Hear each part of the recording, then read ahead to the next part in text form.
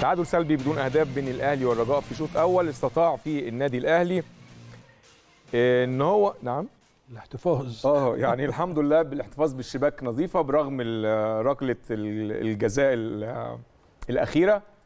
مش عارفين هنسيبها برضو لل- للكابتن ناصر عباس ولكن كان في كرة مشابهة لمحمود كهربا في البداية وتعمد المخرج إن هو ما يعدهاش وأي كرة للمغرب بتتعاد بالثلاث والأربع مرات ولكن قدر النادي الأهلي إن هو يحقق الهدف أو يحقق النتيجة المطلوبة في الشوط الأول. كابتن شريف أعتقد نتيجة تعتبر مستحقة ويمكن الرجاء كمان ما كانش عنده حلول. الرجاء ما كانش عنده حلول ولكن عنده ضغط وعنده روح. مم. وجماهيره عاملة ضغط عليه كبير جدا. وبتطالب بدخول الرجاء في المباراة تاني. وأي حاجة أنا قلت لك قبل الماتش أو كلنا اتكلمنا على التحكيم لازم أنت تبقى بارد جدا مع التحكيم ولازم تاخد بالك من حاجات معينة ما تدلوش فرصة إن هو ياخد القرار اللي يريح جماهير الرجاء ولاعيب الرجاء. لعيب الرجاء على طول الراجل محمد ريدا ده عامل حالة آه، قلق في كل كورة على طول بيتكلم معاه على طول. الراجل ده خد أعتقد إنذار هو وكهربا فهيقل شوية الحوارات اللي بيعملها دي هم زي ما انت قلت الحلول بتاعتهم مش كتير جدا مظبوط. ولكن في واحدة من ناحية الشمال الراجل رقص ودخل والشناوي تصدى ليها دي هدف يعني ده الكرة الوحيدة اللي إحنا نقدر نقول البينالتي بقى بتاع كهربا؟ ده اللي بينالتي أنا البينالتي بتاعنا ده ولا مرة البينالتي بتاعنا ده يعني راجل بيزق الكوره خبط يمكن في رجله أو زق الكوره دي هنعرفها آه، هنسيبها من لكابتن ناصر. الأستاذ- من كابتن ناصر عباس ولكن انت ما زلت عندك ميزة الحقيقة في ظل الظروف اللي إحنا فيها دي كلها عندك هدوء وعندك صحيح. عبد المنعم واقف على رجله كويس قوي عندك سرعات آه، ياسر إبراهيم محمد هاني بيحاول هي الغلطة الوحيدة بس إن محمد هاني و... وبيرستاو بيطلعوا يا ايمن. بخط واحد. مش ورا بعض آه، يعني أنا بعمل الزيادة العددية عندي يضربوا ديانج. عندي ديانج وعندي محمد هاني وعندي بيرستاو بيرستاو بيبقى على الخط بيحاول يعمل مراوغة أو يعمل one two ولا حاجة. لما تتقطع بيتضرب الج- الجزء ده كله بتبقى عليك counter attack سريع جدا. لازم تغطي كل الدنيا دي. فبالتالي الناس كلها اللي هي واقفة في نص ملعبك بتروح ناحية اليمين وأي حاجة من ناحية الشمال بتبقى جاية خطر عليك.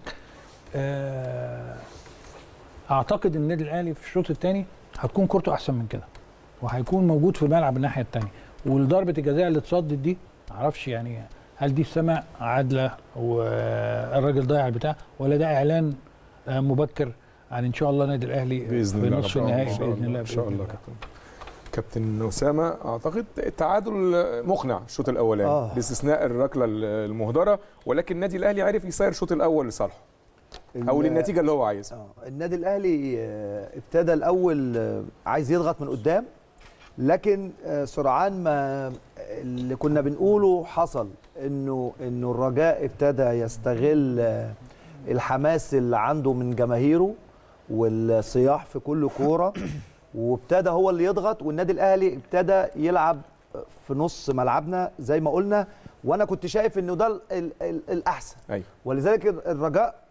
مش عارفين. ما عندوش حلول. ما عندوش حلول. بالظبط. كل حلوله من الضربات الثابتة. مظبوط. اللي في واحدة الشوط ال- الأولاني من الزرهوني على ال 18 شاطها وخبطت في الم- ده. أكتر من 3 4 كورنرز بالذات من ناحية الجانب ال- اليمين بتاعنا اللي هو الشمال بتاعهم. بالظبط. وده الجانب اللي اللي هم بيلعبوا عليه أكتر متحرك. ومتحرك. بس ياسر إبراهيم آه، يعني اختيار النهارده موفق. صحيح. آه، قافل كويس جدا ورا محمد هاني في كرات كتيرة جدا لأن آه، بيرسي تاو ما بيرجعش قوي. وقلنا ديانج بيجري كتير بس مشكلة ديانج أنا قلت يمكن قلتها آه، ساعة التشكيل ديانج بيحب يلعب للعمق اللي هو مكان ستة اللي هو مكان مروان عشان يغطي بعرض الملعب لأنه كميات جري كتيره لكن لما بيلعب طولي بيجري وكده لكن آه، ساعات الكرة تتعطل يفقدها لكنه عامل مجهود كبير.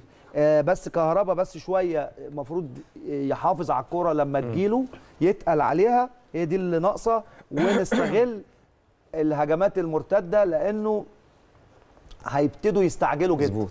يعني هو ضاع منهم 45 دقيقة. كاملين فهيبقى في مساحات ورا. هي دي النقطة المهمة. لكن آه الحمد لله إن الشوط الأولاني طلع 0 0 يعني. الحمد لله.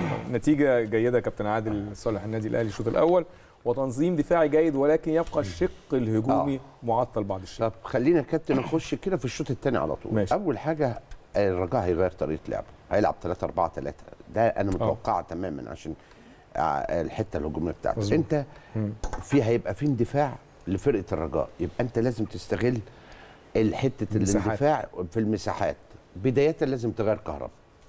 من بداية الشوط الثاني لحاجتين. نزل مين؟ للسرعات محمد شريف, شريف. للسرعات والإنذار. لازم يتغير تماما. أوه. يمكن هو هيسيبه عشان الكور الثابتة اللي علينا. ولكن أنا أفتكر إني أو أو ممكن يستخدم طاهر محمد طاهر ولعبه في كأس العالم للأندية راس حربة. هي عايزة مساحات ممكن ياخد sprintات على قدام ياخدهم يتعبهم لأنه العمق عندهم بطيء جدا. بس هو طاهر ما لعبش مع كولر هو لعب مع موسيماني قبل كده. أنا فاهم. okay. آه. بس أنا ما أنا بشوف شرايطه كلها. أنا بتكلم على عاوز واحد السرعات. عنده سرعات.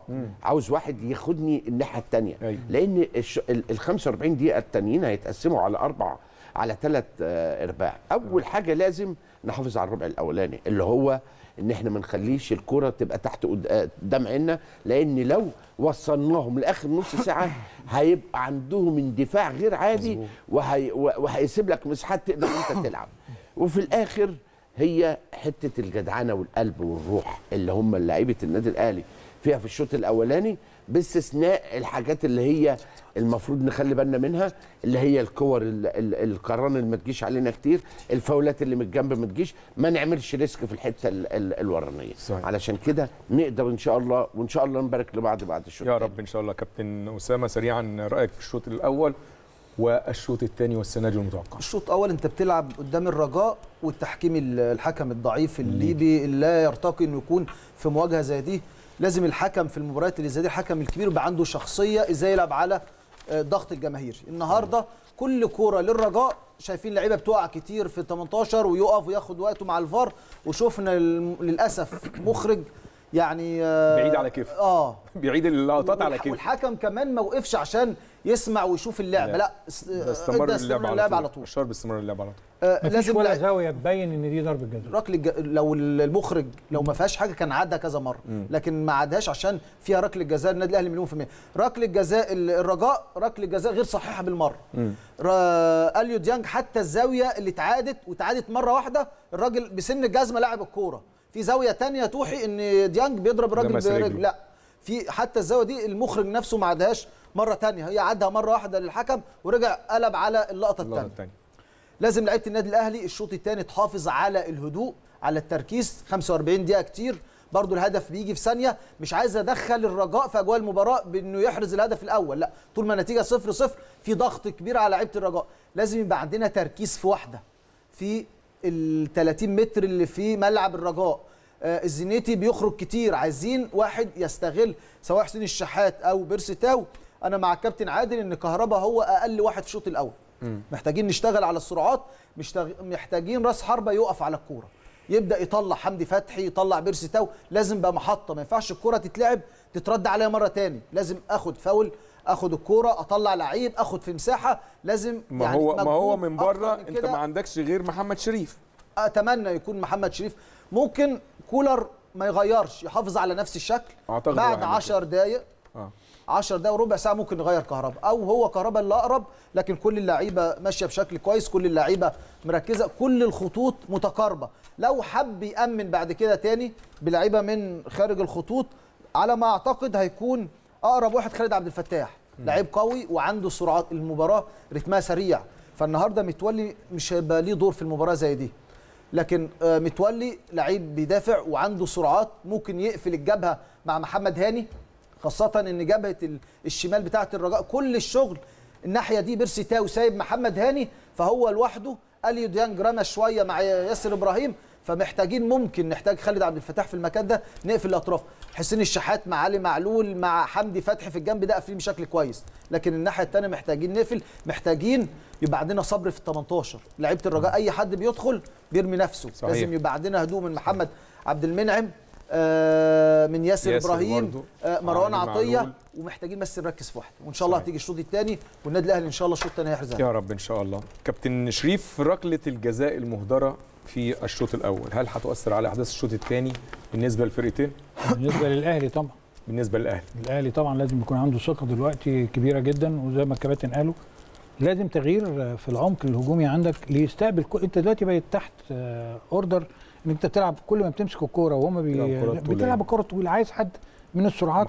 قبل ما يستلم الكورة هيكون حسين الشحات جاله وبيرستاو. لو كان اللي هيستلم كهربا أو محمد شريف. ففعلا أنت محتاج عمق هجومي يشدك يخرج زي ما قلنا من قبل المباراة عايزين نريح ال defence بتاعنا شوية ونص. ملعبنا. ولكن أنا بثني على نص ملعبك النهارده إنه عنده من الهدوء ومن الثقة إزاي يلعب الكرة وبيعملوا مثلثات. وبيعملوا كل حاجة ما مش هايبين الموقف ولا فارق معاهم أي حاجة كل التوفيق للنادي الأهلي إن شاء الله الشوط الثاني لتحقيق النتيجة اللي تأهله لبلوغ الدور نص النهائي إن شاء الله هنروح لفاصل بعد الفاصل أو بعد انتهاء المباراة نرجع لحضراتكم مرة أخرى بالمباركة إن شاء الله للنادي الأهلي بالوصول للمربع الذهبي.